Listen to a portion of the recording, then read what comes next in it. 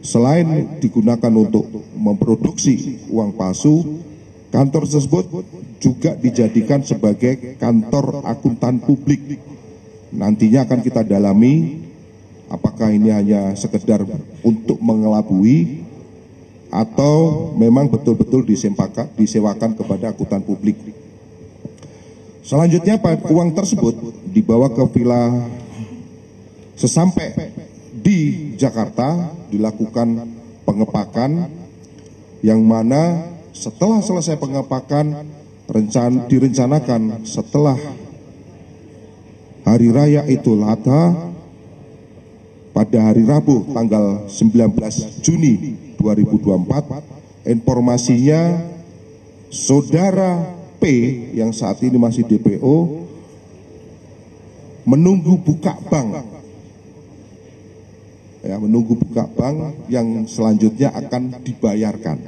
Artinya bahwa saudara P inilah yang melakukan pemesanan terhadap uang tersebut setelah lebaran pada saat jam kantor di mana bank sudah mulai buka saudara P ini akan mengambil uang sebesar 55,5 miliar yang nantinya akan dijadikan bahan untuk bertukar dengan uang palsu senilai 22 miliar.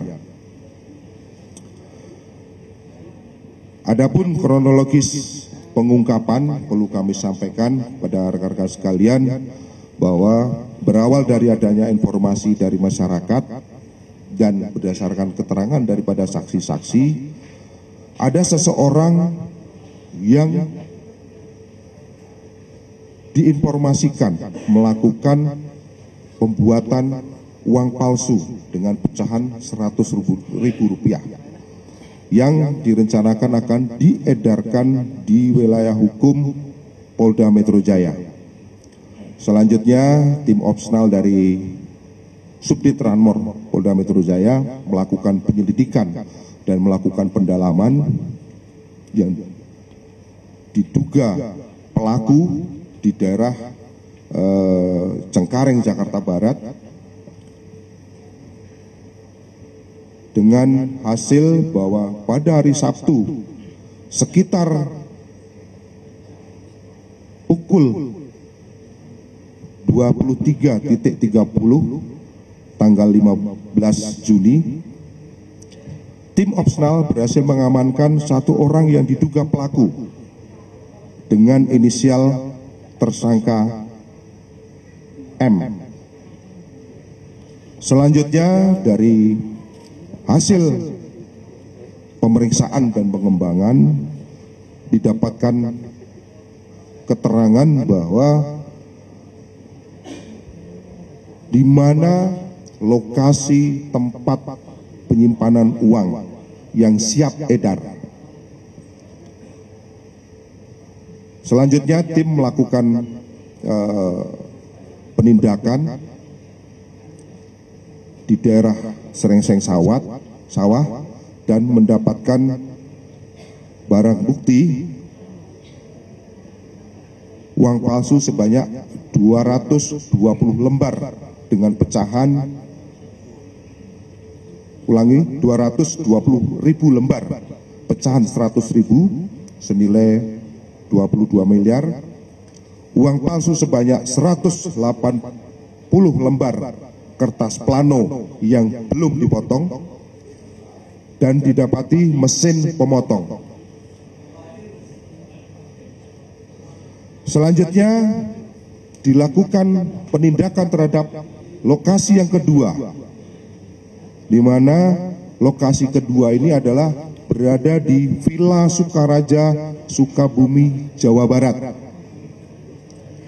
Di lokasi TKP penindakan kedua, tim penyidik berhasil mengamankan alat print mesin pemotong merek GTO Kemudian plat warna pencetak sesuai gambar yang dicetak di mesin CTV, kertas plano ukuran A3, alat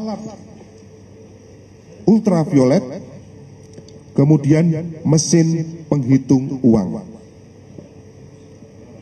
Sebagai catatan untuk rekan-rekan sekalian bahwa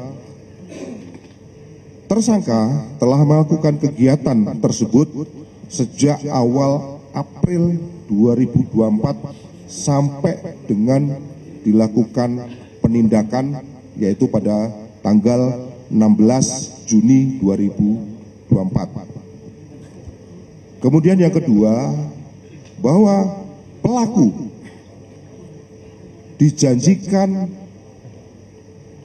uang palsu tersebut akan ditukar dengan uang rupiah dengan perbandingan satu banding empat yaitu satu rupiah asli akan ditukar dengan empat yang uh, uang palsu yang mana untuk proses transaksinya akan dilaksanakan setelah hari raya Idul Adha.